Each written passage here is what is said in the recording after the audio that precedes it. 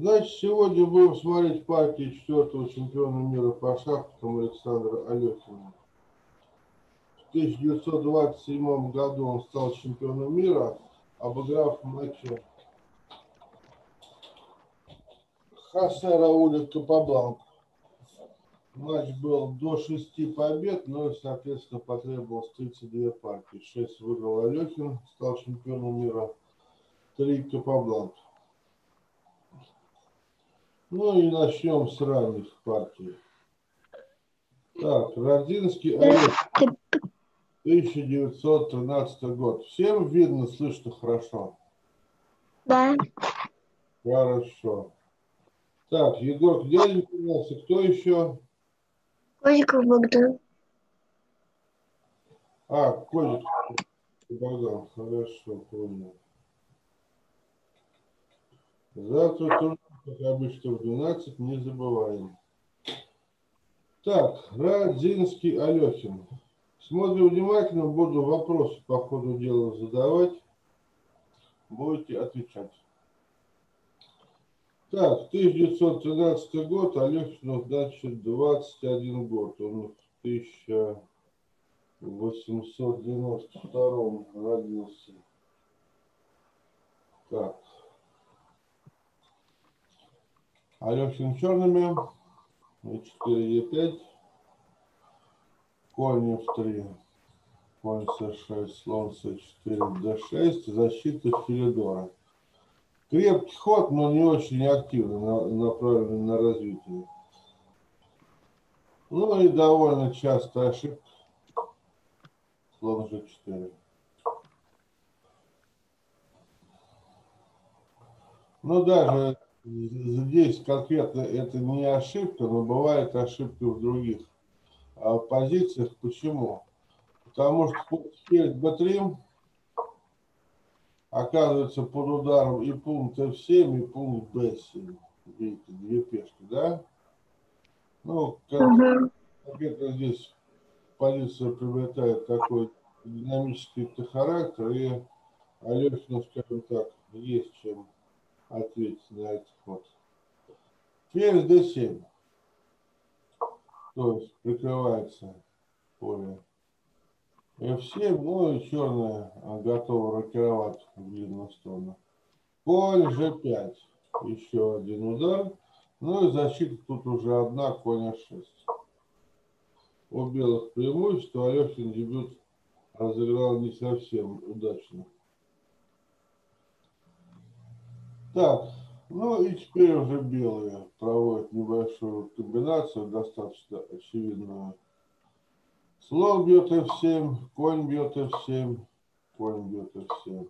Бить можно только ферзем. И ферзь b7 с двойным ударом на ладью и коня, намереваясь тут черных разгромить. Вот, ну у черных нашелся достаточно такой оригинальный ответ. И, по крайней мере, позицию они удерживают и переход в контратаку. Король d7. Брать на 8 надо. Иначе проигрыш материал. И ферзь c4 с угрозой мата на e2, как мы видим. Защита одна, ход f3.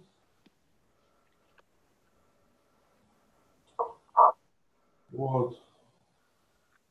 И тут Алехин жертвует слона. Слон бьет f3, gf и конь d4. Ну, поскольку черные идут вперед, у них э, инициатива, защищались в те годы еще недостаточно хорошо. Тут было, конечно, прочитать белый вариант со взятием коня, и партия, скорее всего, в ничью закончилась. Но белые тут решили поиграть на победу, ну и сразу ошиблись. D3. Сделали ход, который немедленно проигрывает. Ферзь бьет D3. Уже угроза мата на E2. F3 тоже мат, поэтому здесь уже бить коня обязательно. И какой ход сейчас черный э, сделает?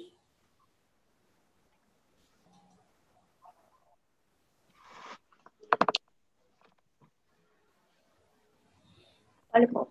После которого уже можно сдаваться белым.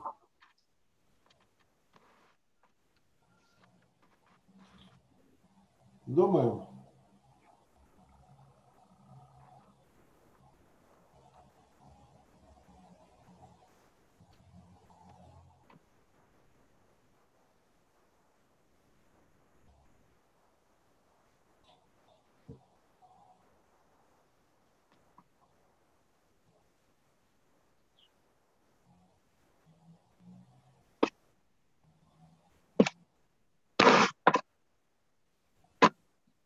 Я думаю, ищем выигрыш.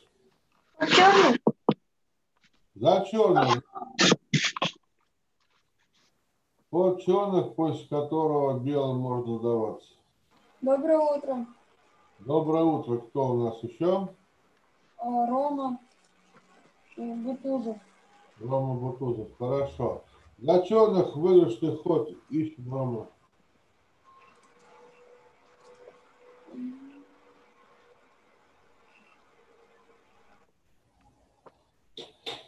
Завтра турнир 12, напоминаю. Не забываем. ЕД.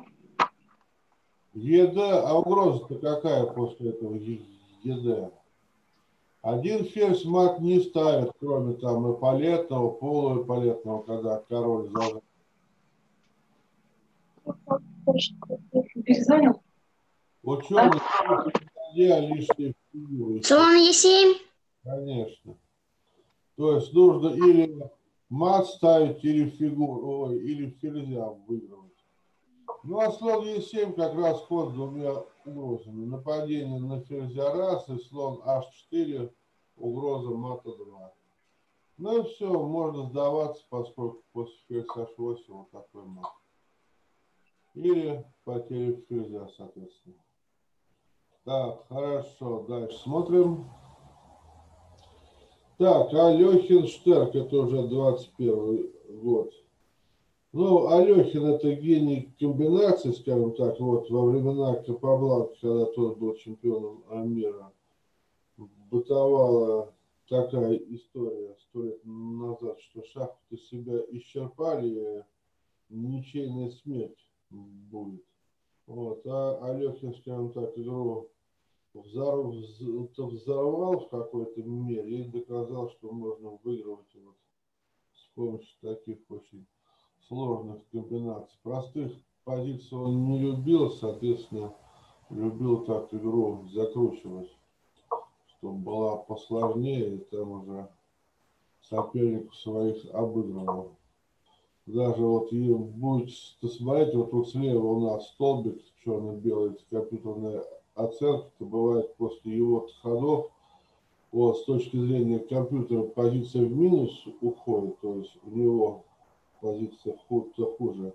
Но тут надо учитывать, что люди не компьютеры, то естественно, не могут просчитать там мгновенную позицию на 20 ходов вперед. А позиции такой сложности, что соперники не выдерживали. Так, ферзевый гамбит. Алехин белыми. Е3, слон d6. Ну, сейчас слона, конечно, на Е7 ставят автоматически. Так, конь b5. Ну, в принципе, белый темп теряют, черный темп теряют, ничего особо не меняется. c6. Укрепили черный центр. Конь c3. Рокировка. Ну, получилось, что белые конем сделали лишний ход черный слоном. 0-0.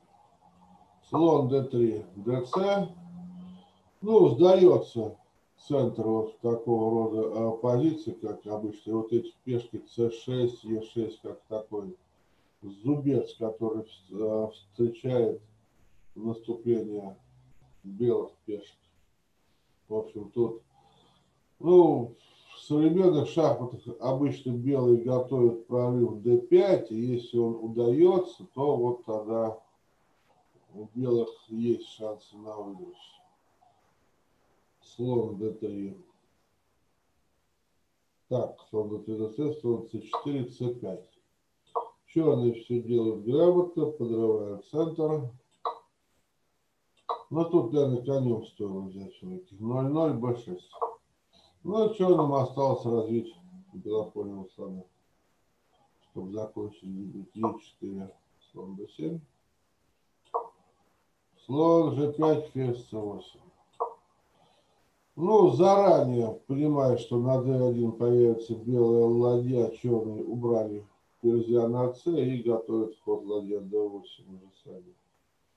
Ферзь e2. У белых, соответственно, ферзь уходит, а готовится на, а, на c1 ладья встать. Слон b4. Так, слон d3. Слон c3.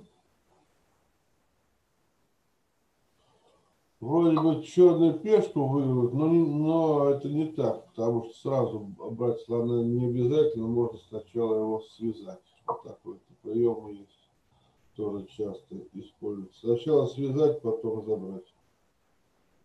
Конь бьет Е4. Так. Тут смотрим, что происходит. До свидания. Иди Так. напивай, сейчас будет колесо, Богдан. Конь Е4. Так, ферзь у нас попадет на Е4, после чего будет атакован конем на С5. И черный, видимо, планирует потом слоном отойти. То есть, учитывая тот момент, что все-таки пока у черных фигура лишняя на С3 еще не забрали белые. Слон Е4, слон Е4, ферзь Е4, конь С5, вот он темп и перекрытие линии С. Ферзь Е2 и слон опять. Ну да, вот о чем мы говорили. Другое дело, что ферзь опять нехорошо стоит у черных. Ладья А, Б1, угрожая ходом Б4. Ну и ферзю надо отступать. Ферзь А6. Ну, черный предлагает размен ферзей, чтобы свои дебютные проблемы окончательно решить. Ладья С4. Белый не только от размена ферзей уходит, как ви- видим, но и ладью в дальнейшем этого по четвертому ряду будут пытаться в атаку привести. Конь А4. Так, что конь на А4 пошел? Зачем вот это? А, Б4 угрожал ход. Ну, конем лучше было отступить куда-нибудь. А, чтобы на Б4 уже смотри, нет. Так. Вот так. Ну, пока не очень понятно, ладно. Тем не менее, ищем ход за белых, довольно сложный. Думаем и предлагаем. Учитывая вот это противостояние ферзей по диагонали и то, что ферзь на 6 не защищен, что белые могут сделать?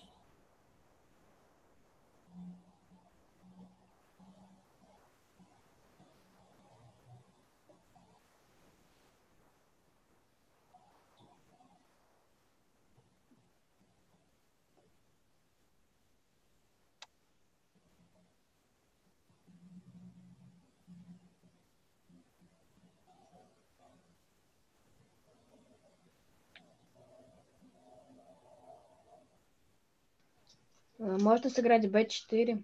А, вот как раз думал, похоже, что вот на b4, а, b5 ход будет. Видишь, теперь ладья под боем, ладье нужно отступить. Ну и слон у нас успеет побежать теперь. А чтобы слон f6 не было, вот на слон b6, допустим, слон a6 будет, да, качество должны выиграть. А, Слон d8, наверное, вот так. Так, И слон А6, слон F6. Вот такое что-то, видимо, пл- планировали. Поэтому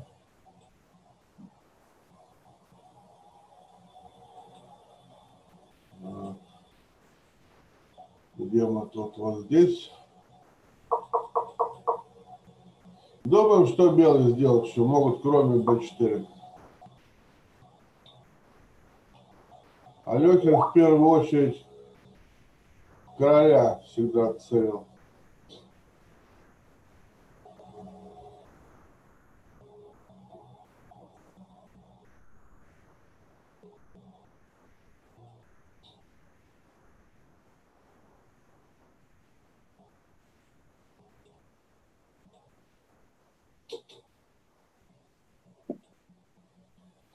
Думаем.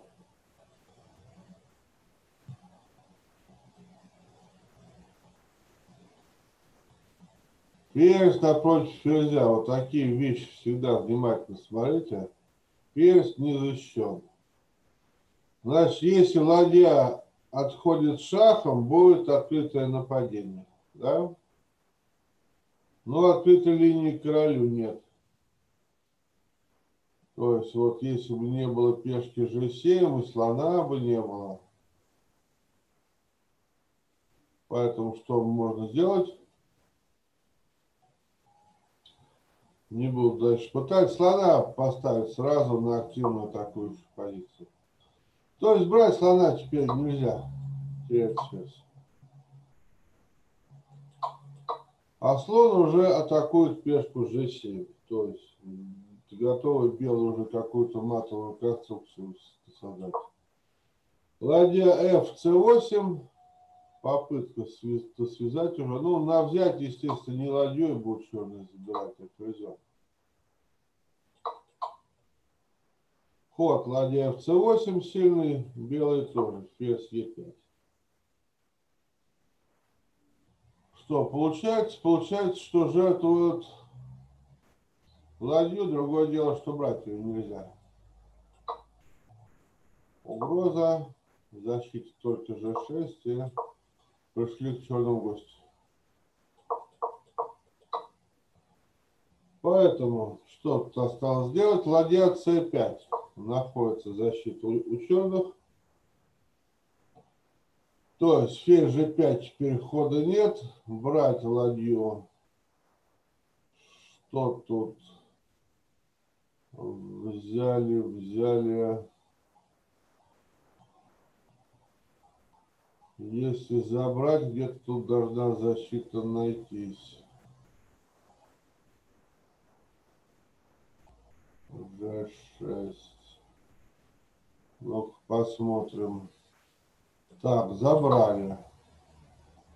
По идее, надо забрать. Но ладья C5, вот компьютер показывает, тоже выигрывает. Так.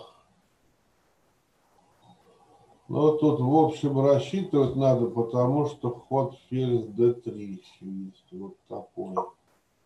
Теперь под боем обе ладьи. И ферзь g6 защита есть. А другое дело, что ладья может на c1 это отойти, тогда ладья лишняя. Но, судя по всему, какой-то вариант тут есть. Алехин, ферзь g3 сыграл, выбрал вот этот ход, но вот видим по оценке, что он сильнейший.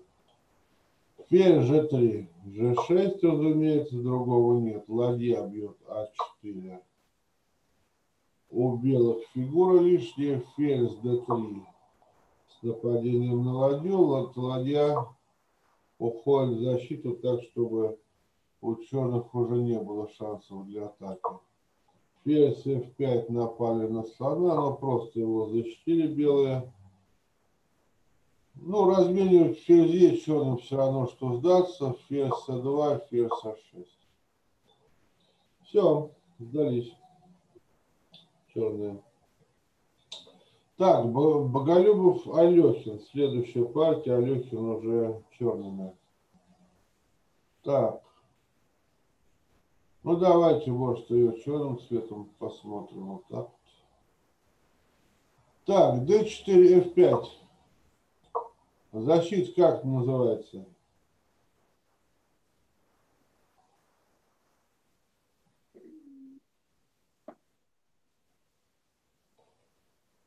Голландская. Ну, вот, так, так- так, кстати, многие из вас еще не знают, что на d4 делать особо дебютов нет. Вот, обратите внимание, такой вариант есть. Каменная стена называется. Вот так вот четыре пешки черные расставляют. Вот. F5, E6, D5, C6.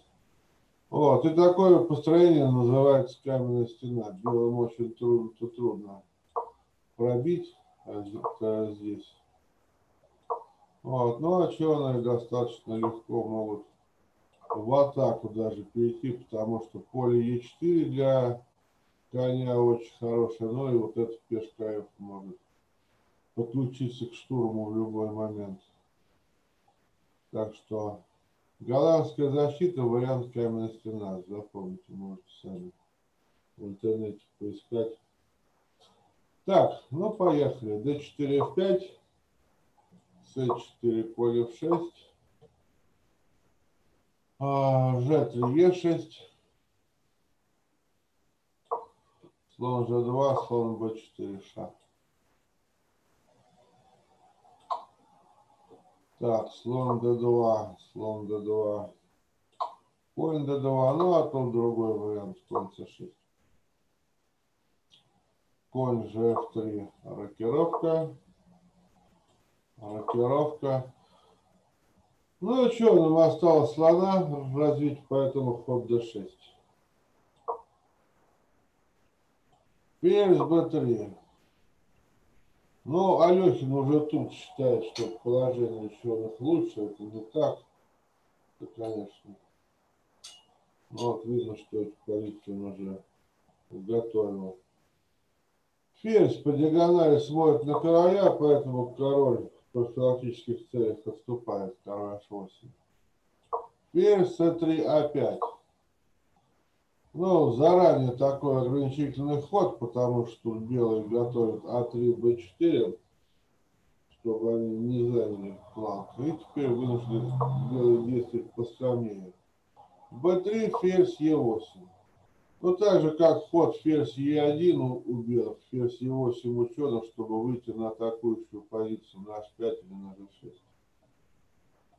Так, А3, вот все-таки Б4 белые готовят, но проводят уже в три хода, как видно.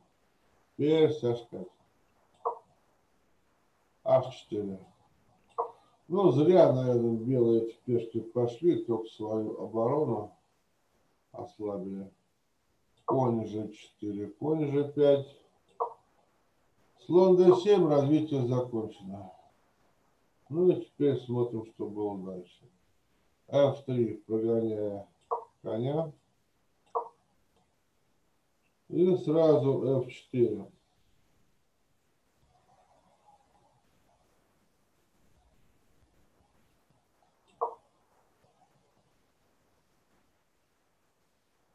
Так, сейчас, секунду, посмотрю.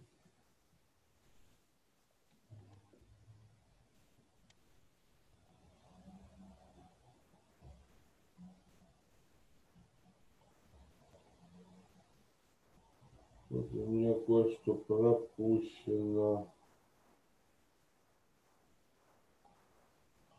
Один ход пропустил. Ну, давай с того момента, где пропустил. Повторим. Так, c3. Вот этот ход. Тут e5 сначала было. Так, e5. Быстро пробежим. По большому счету мало что изменилось. А5, Б3, ферзь Е8, А3, ферзь H5, H4, конь G4, конь G5, слон D7, F3, конь F6, Вот. И на F4 черные сыграли Е4. Ну, то есть, видим, идет борьба в центре, и важно, что черным уже удалось поставить пешку на Е4, то есть они стараются пространственно завоевать. Ладья F, D1, H6, конь H3, еще один ход направлен на завоевание центра D- D5, конь F1, конь Е7, А4, ослабилось поле Б4, поэтому конь идет обратно на С6. Так, ну дальше у нас идет позиционная борьба, поэтому еще вопросов задавать не буду. Но уже готовьте, скоро задам. Так, ладья d2, конь b4. Слон h1, ферзь e8. Ладья g2, dc. bc. Забрали черную пешку на а4. Конь f2, слон d7. Конь d2, b5. Подорвали на фланге. Конь d1, конь d3. Вот занял вот этот важный форпост. Ладья бьет опять b4. Ладья а8, bc. Ладья бьет Е8. Так, комбинации многие из вас уже изучали. Поэтому следующий ход ищем.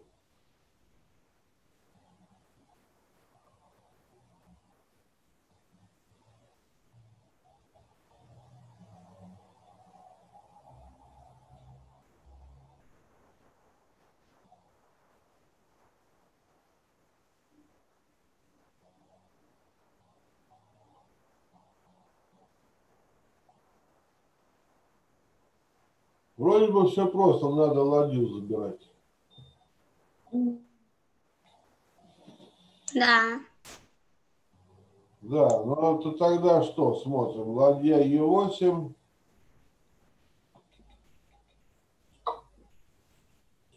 Конь С3. Ну, черные лишились главного своего козыря, проходной пешки.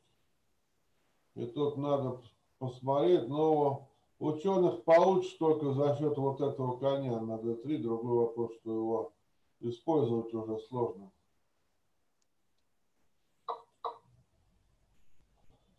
Промежуточный ход, вспоминайте, какой. С6. С6, вот это а, пешка. Ну да. Ну тогда ты просто останешься без двух ладей. Все. Раз, два, ничего нет.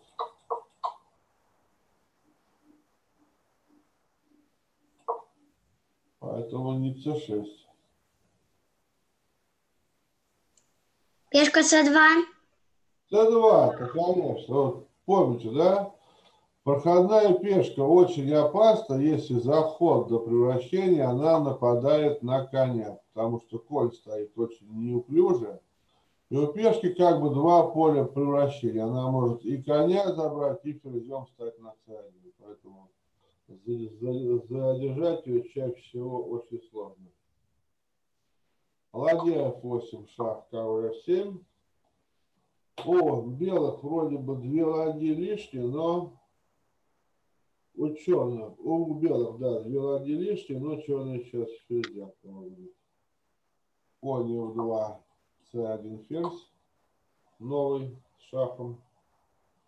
Конь F1, конь E1, ладья H2, ферзь C4.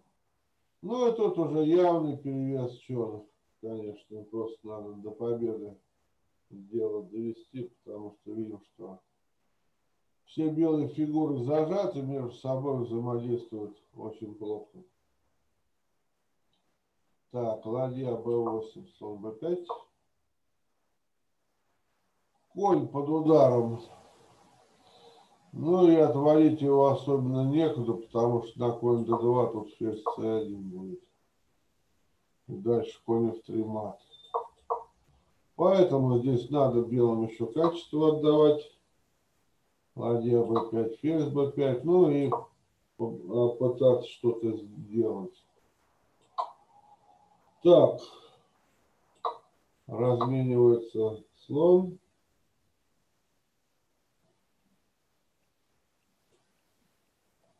Так, GF.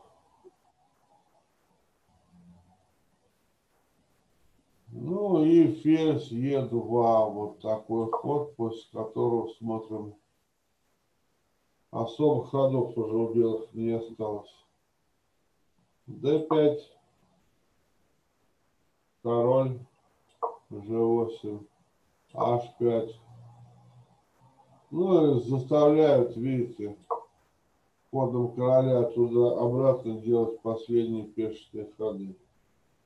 Е4. Конь Е4 вот теперь забрали. Ну и все, уже пора сдаваться, все решено.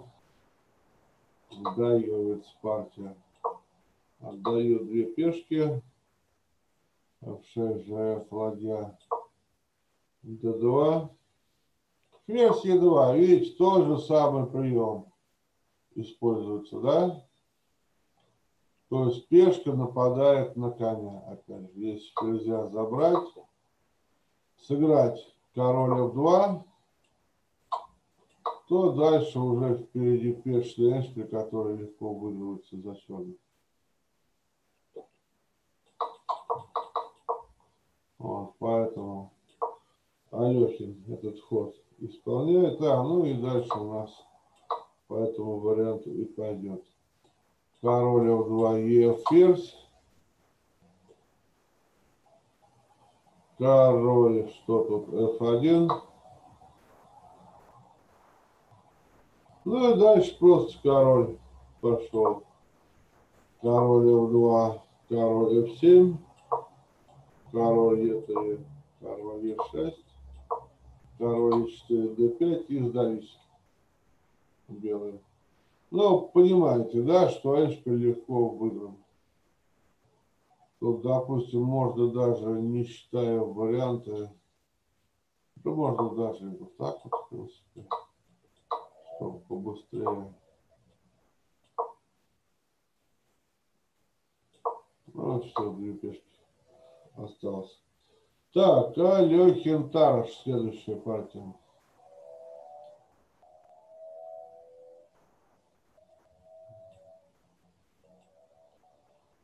Ну, Тараш, сильнейший гроссмейстер того времени,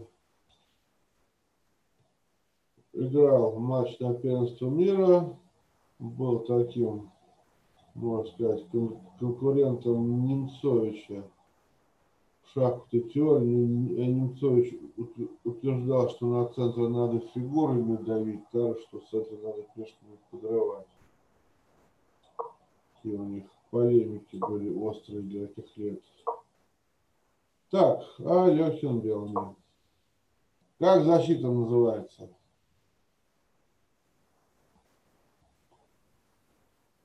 Славянская.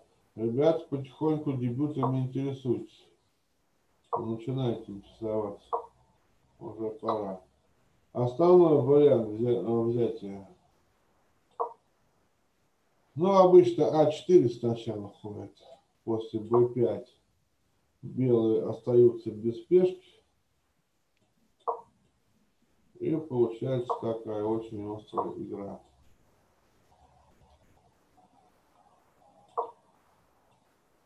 Здесь пешку белые отыгрывают в этом варианте, но конь на 2 стоит. Плохо.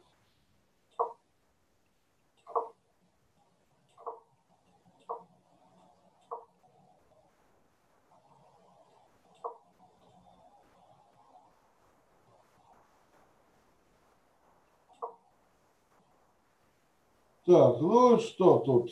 Надо чудопольного слона развить, потом придумать, что с конем сделать. Поэтому пешка идет вперед, заодно и чудопольному слону открывает дорогу. Черная укрепляет пешку на b4.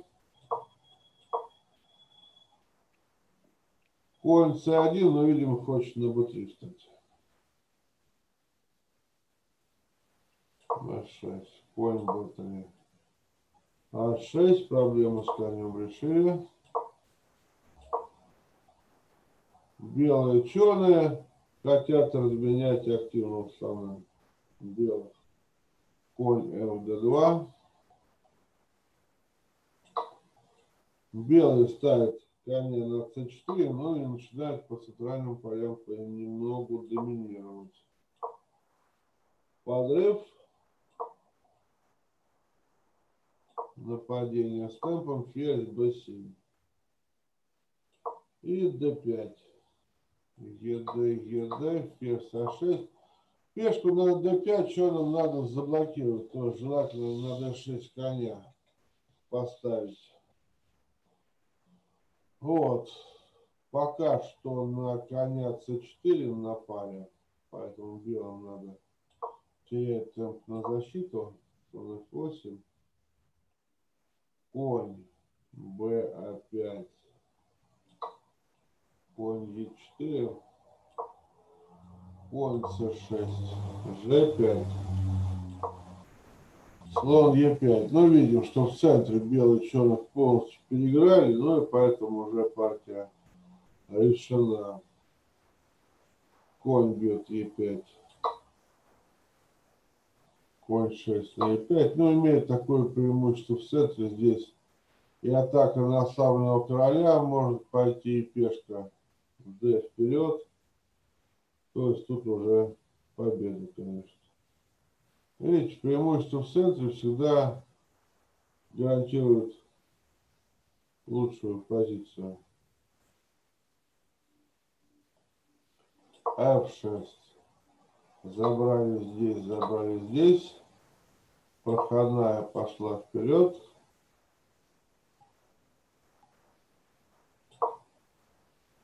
Ну и просто забрали еще одну пешку белую. Ну все, в эту позицию уже завис. Черная. Так, ну давайте еще посмотрим несколько пальцев, сколько успеем. Так.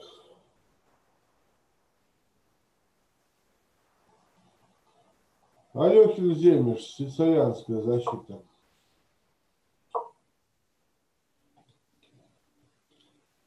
Так, конь f3, конь c6. Обычно сразу d4 играет. А Лехин сначала слон e2.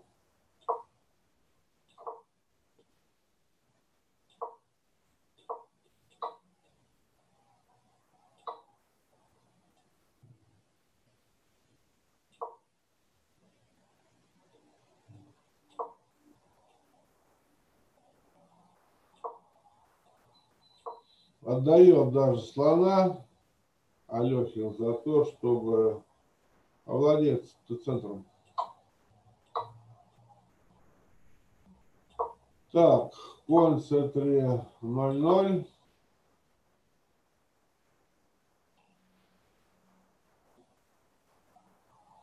Ну, в принципе, ход слон f4, допустим, тоже сделать можно. Но куда лучше слона развить? Белом, как думаете?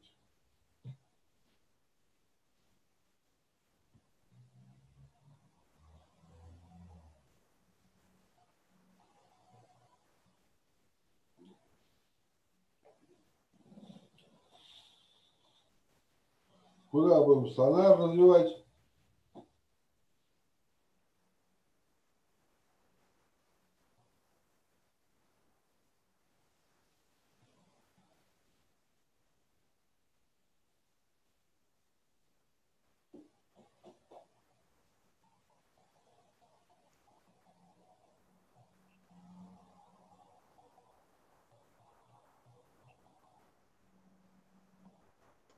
На G5.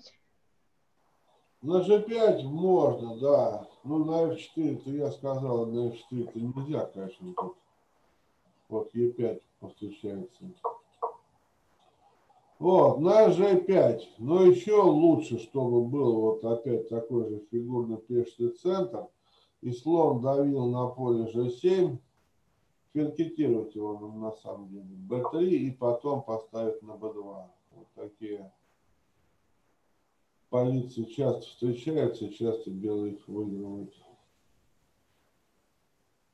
Б3. Ну, против такого построения основной ход конь d7 и конь выходит на c5 чаще всего. Ну и смотрим, что происходит. Слон b2. Противовес белому слону выходит черный на f6 ладья А, Д1, А6, ферзь G3, ферзь С7, король H1, ладья D8. Ну и теперь ладья стоит на F1, пешка идет на F4, помогая организовывать белым атаку. Ну и ладья уже на F стоит готов к встрече линии F. Так, B6, F5, слон E5. Так, ну и снова думаем, какой ход сделать.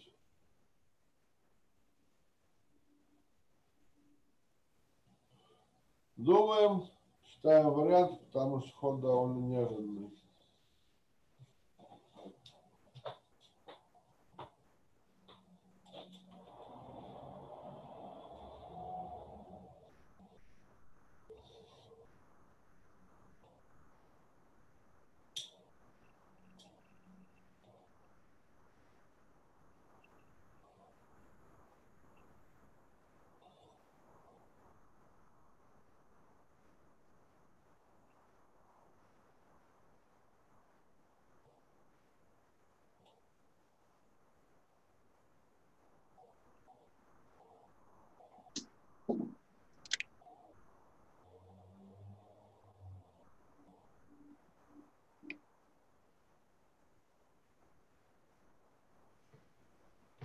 more.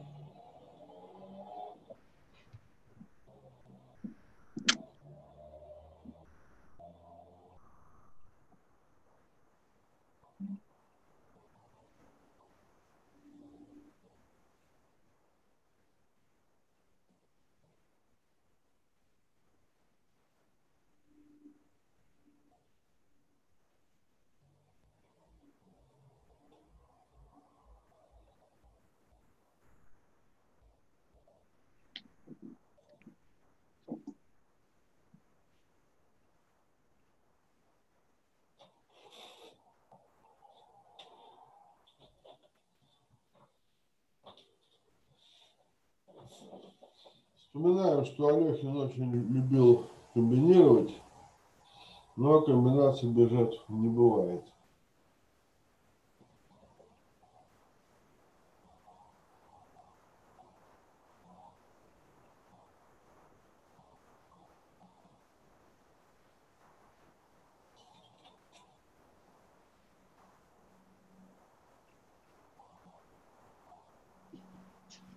Можно сыграть FE. ФЕ, правильно, жертвуем ферзя. Ну и, собственно, не брать его нельзя, потому что если взять на Е6, то черный ферзь тоже под боем, и тут под боем оказывается ладья и слон. То есть вариант в пользу белых, понятное дело. ФЕ, правильно. Ну и на слон бьет G3 уже напрашивается ЕФ шах. Так, что получается? Королю надо отходить на h8 только, потому что тут, ну-ка, вариант найдем что-то. Конь e6, Конь e6. Король. 7. Ну, по крайней мере, тут уж отыгрываем мы, а так с проходной пешкой у нас останется. Еще шах. Ну, и слон g7, по-моему, достаточно уже. Да, явно тут компьютер уже покажет выгодно. Так, поэтому король идет на h8. Ну и конь d5. Ну и тут уже сдался Тараш плюс 2 с половиной. Так. Если только ферзя отдать. Ферзя и потом...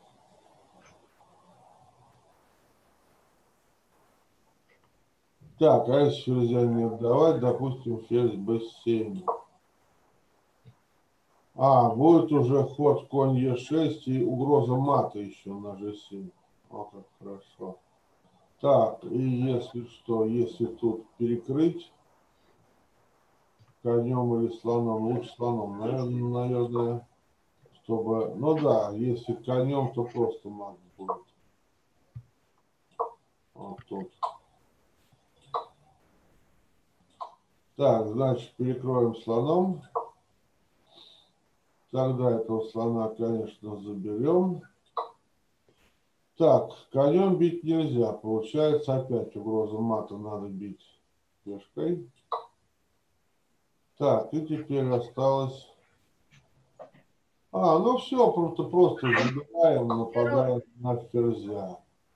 Напали на ферзя, вторая угроза мата. Все, уже спасения нет пешку, допустим, заблокировали проходную, ну, остались без ферзя. И тут уже в итоге лишнее ладья.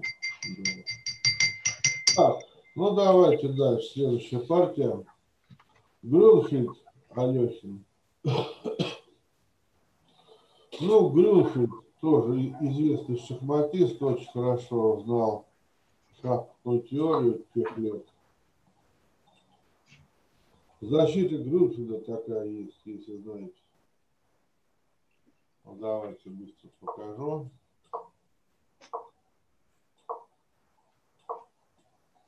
D5, вот такой вот удар сразу. Белый сделает себе пешный центр, но у черных контр-игра. Такая достаточно. Ну, вот такой один из главных вариантов. Так, ну у нас сейчас партия, где Грюшик играет белыми. Так, d4, поле 6, Олег черными. c4, e6, конь c3, d5. Снова ферзевый гамбит.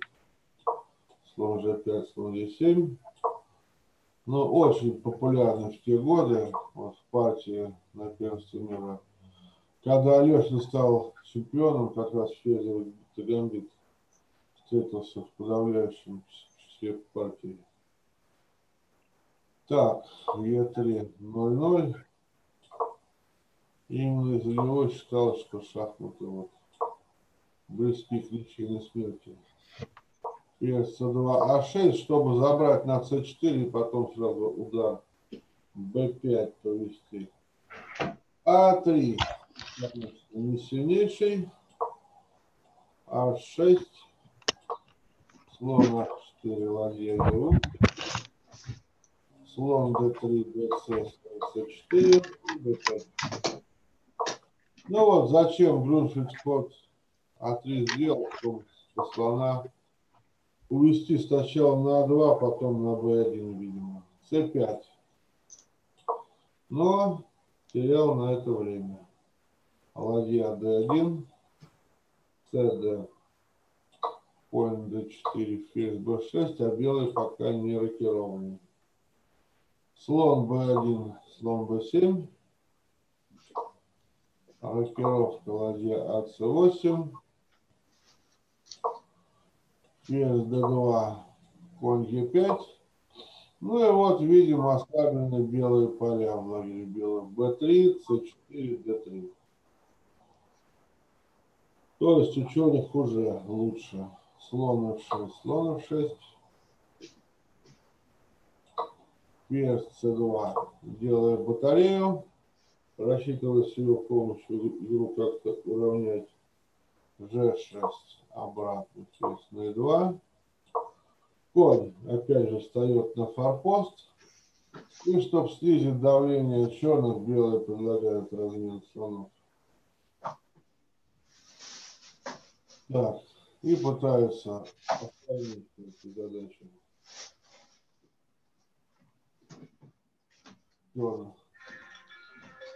Уже все. Размен. Ладья С1. Е5. Конь Б3, но уже преимущество очень большое у черных. Так, Е4.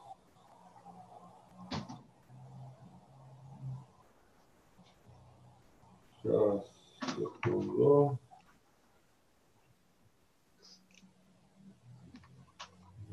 Б3. А, поспешил с F5. Конь B3, E4. Так.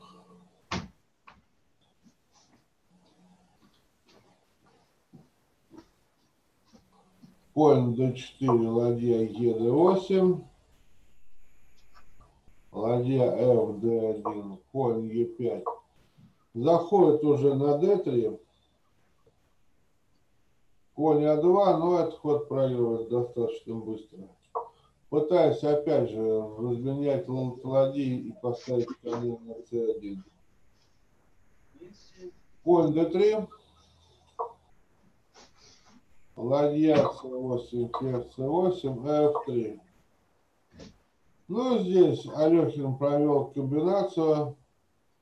Давайте ищем ее, с какого хода она начинается.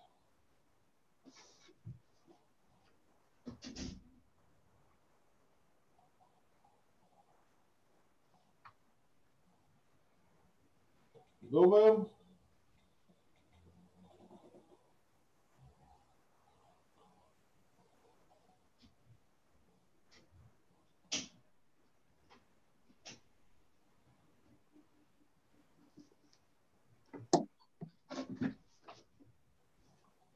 СЕ.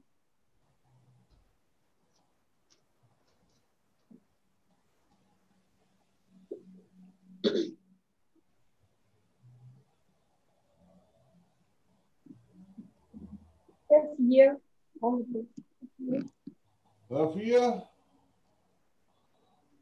Ты коня отдашь.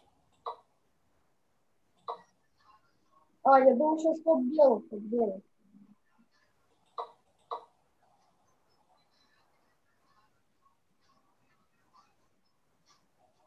Нет, вот черных сейчас.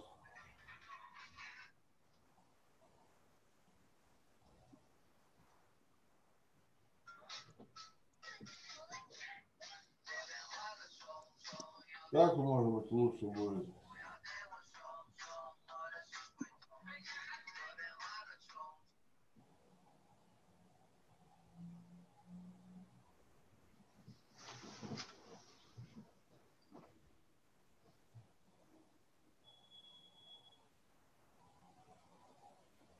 А, С4. Ферзь С4. А если здесь заберу? А, тут. Да.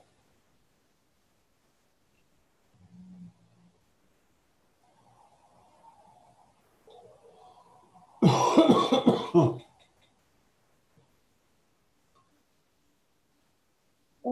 Слон бьет на d4. Слон на d4.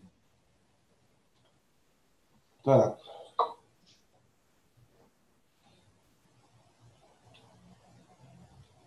Вопрос, кого схватить.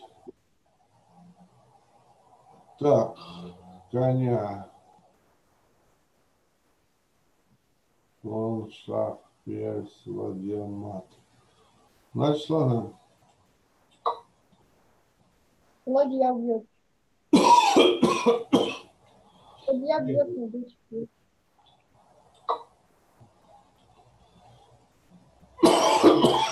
Так. Ну-ка, я тогда вытащу. Сюда.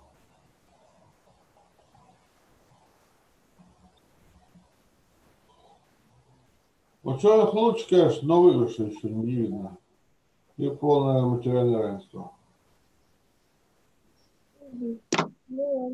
Ну смотрите. Комбинация сложная. Так, где мы? Вот здесь. F3 ход 7. Ладья бьет d4.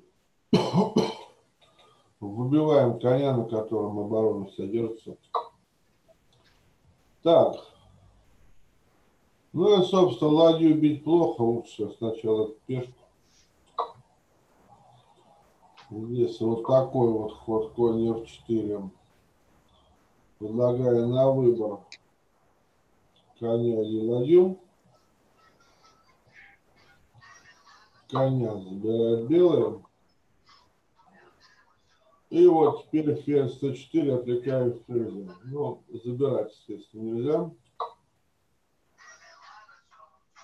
Ну, делать особо нечего. Взяли. Ну, сейчас какой ход?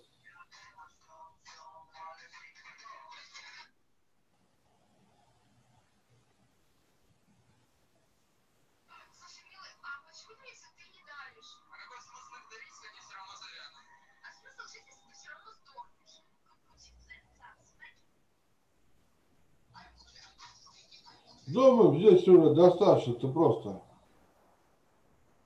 Мат два хода.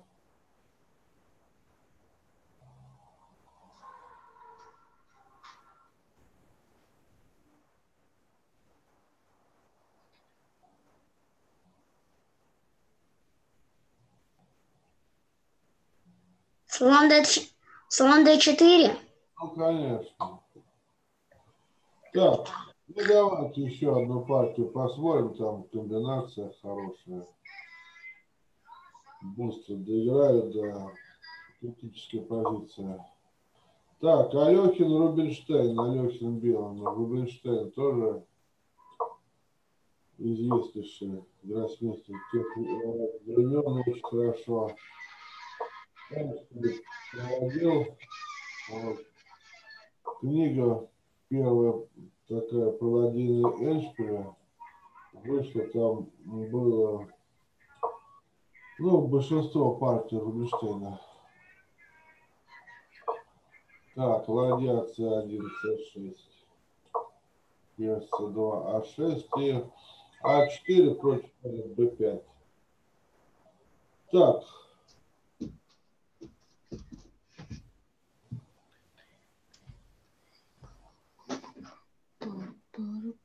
ладья Е- Е8, слон d3, dc, слон c4, конь d5, слон f4, конь f4, ef c5,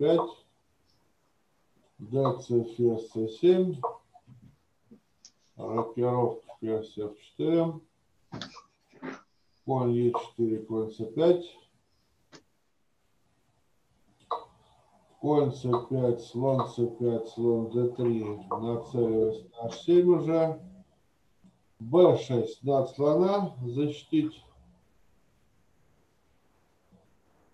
Слон бьет h7.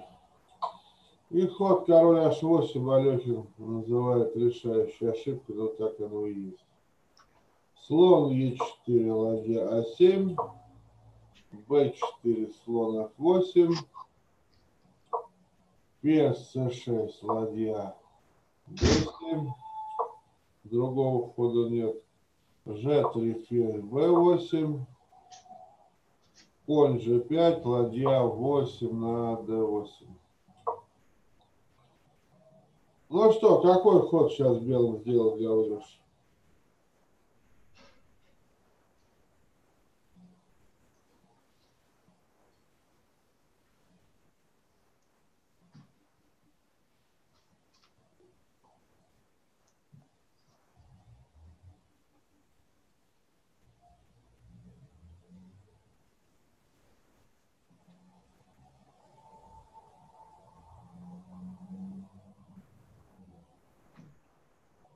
Сразу в глаза не бросается.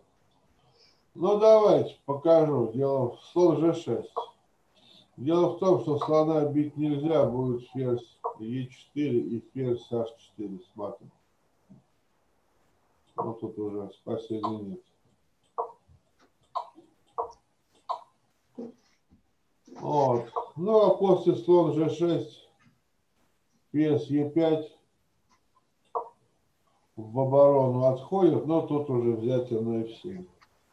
Конь F7, ладья F7, слон F7, ферзь F5 пытаясь этого слона поймать. Ладья F, D1 уже нагружая восьмую горизонталь. Ферзь F7, ферзь C8.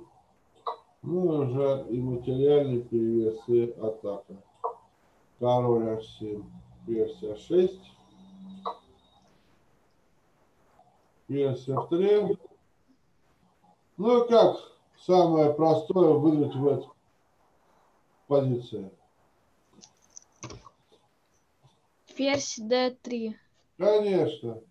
Тут уже мат белый поставить не, не могут, и чтобы упростить, уже чтобы сюрпризов никаких не было от этого вот, ферзя. Ферзь меняется, и дальше уже элементарный эшпиль еще тут что?